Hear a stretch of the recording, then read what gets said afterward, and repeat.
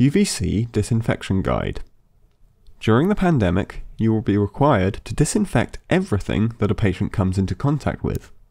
When used correctly, UVC can be an effective method of disinfection for frames and tools. When performing a UVC disinfection, you should aim for a log 3 or better reduction in virus particles, which means you have killed at least 99.9% of the viruses. How do you achieve a log 3 reduction? There are four things you must consider. The bulb power, the distance between the object and the bulb, duration of exposure, and shadowing. Objects being placed close together or too close to the bulb will increase shadowing, and that can mean that some parts of the item do not receive sufficient exposure.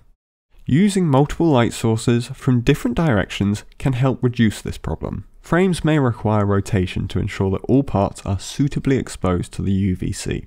With all those factors determined, we can work out how long you should expose objects for. You should aim for a greater than log 3 reduction, which requires an exposure of 6020 joules per meter squared. To reach a log 4 reduction, you will need 10,000 joules per meter squared.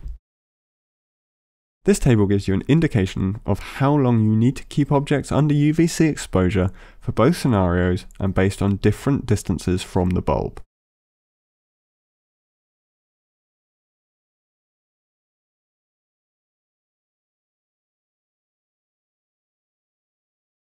Care needs to be taken to ensure that objects are disinfected suitably.